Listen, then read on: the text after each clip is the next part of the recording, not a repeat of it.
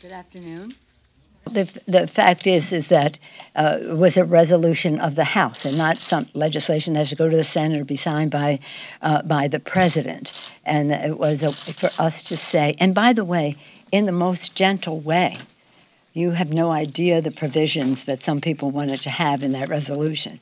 This was as benign. It condemned the words of the president, not the president, but the words of the president. And in doing so, it anchored itself in the words of Ronald Reagan.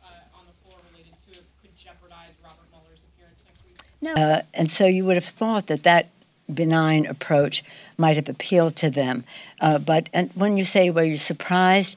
Were you disappointed? My expectations are not great, but you always hope uh, that they might do the right thing and say that that language that the president used was not was beneath the dignity of the president, beneath the dignity of the people he was criticizing. And by the way, uh, we were offended that he spoke in such a way about members of Congress, but we're offended that he says that about people across the country all the time. Go back where you came from.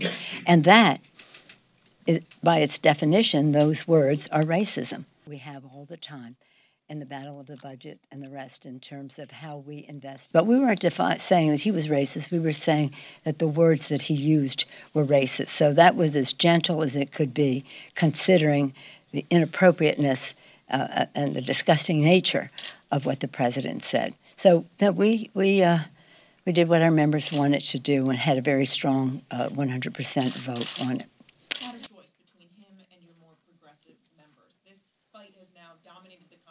With all the respect in the world for Mr. Green. He's a very prayerful person, and he cares very much about our Constitution and our country.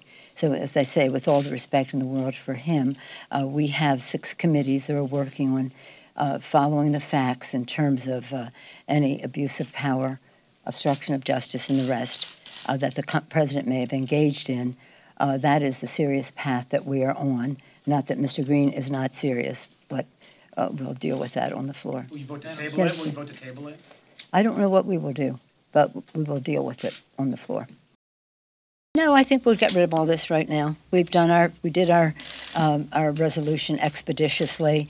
Uh, we'll deal with the, uh, uh, Mr. Green's uh, resolution, uh, but we do have to have a clear path. I do, uh, I do think that the president is trying to uh, and we cannot, uh, and you cannot, and we cannot um, um, buy into his uh, fog that he wants to create over everything because he knows, we all know the argument that can be made against us in terms of our philosophy, in terms of our, our um, priorities and the rest. And the president knows the argument that can be made against him, and therefore he wants to distract from him. You have to give him credit. He's a great uh, distractor, and that's that's what this is about. So it is, let's just take it to a better place. Let's take it to a better place. America. President wants to make America great again. We all do.